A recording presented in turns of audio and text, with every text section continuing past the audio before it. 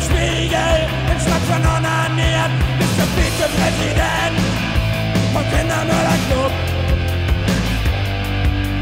Hast du als Kind schon Schwesters Puppen massakriert? Hast du dir selbst in das Ohr als Hexer tätowiert? von dich auf neu.